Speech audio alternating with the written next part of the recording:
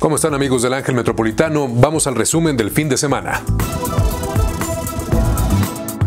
Pemex informó sobre el descubrimiento de un yacimiento gigante de petróleo, con reservas comprobadas de 500 millones de barriles y probablemente haya 200 más en el pozo llamado Keski.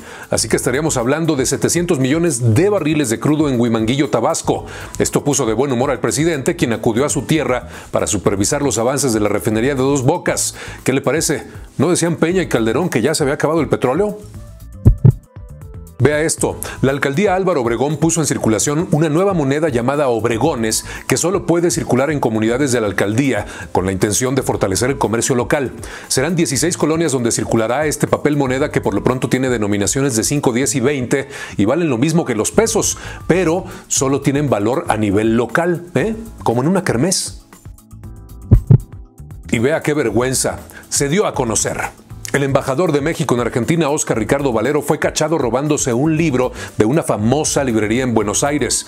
En un video se nota cómo se guarda el libro entre unos periódicos que trae en las manos y cuando sale pues suenan las alarmas. Marcelo Ebrard ya dijo que de comprobarse este hecho será separado del cargo. Por lo pronto ya lo regresó a casa y uno dice, pero qué necesidad.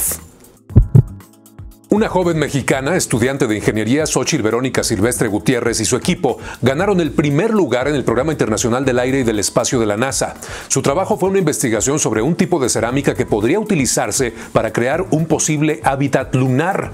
¿A poco no le da a usted gusto pensar que nuestras hijas algún día pueden llegar al espacio o a donde quieran? ¡Qué orgullo!